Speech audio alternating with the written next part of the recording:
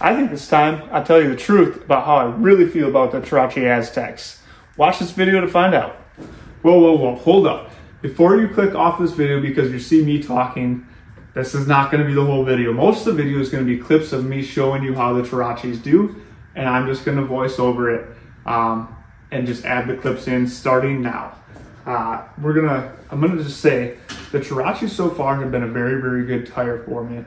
Um, some of the things I really, really like about them is they aren't super heavy like some of the other big name tire manufacturers out there that are also good tires. They're just a little too heavy for what I wanted. They're, they're so they're a little bit lighter tire. The other thing that I really like about them is they're a very good paddling tire. They do do a very good job paddling and finding traction. If there's traction to be found, these tires will find that traction. Um, another thing, they clean out really good too. Clay, sand, it doesn't matter. They're cleaning out, even if I don't have a lot of wheel spin, which is nice, um, especially being that I am a little bit lower horsepower ATV here on a Yamaha. Um, they have a little bit of a choppy ride at slow speeds. Most mud tires do, so I'm not going to complain too much about that. Even though I said they're lighter than some of the other tire manufacturers out there, they're still they're still heavy-ish. Um, so don't don't be fooled and think they're super light because they're not. Um, but again, most of the other ATV tire manufacturers are. I would say my biggest downside to them is how they measure.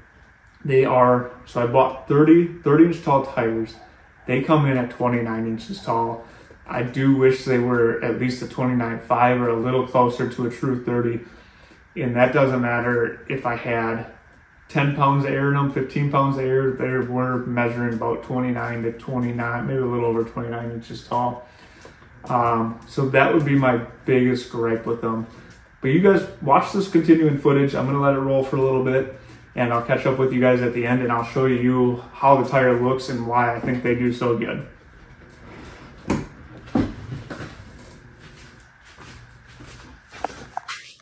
All right, guys, so here's why I think they do so good, and they have a little bit different tread profile than most. They do have a nice tall lug on them, which is nice, um, but they, the way the tread's designed is that this front piece here comes back at a slight angle out towards the outside of the tread.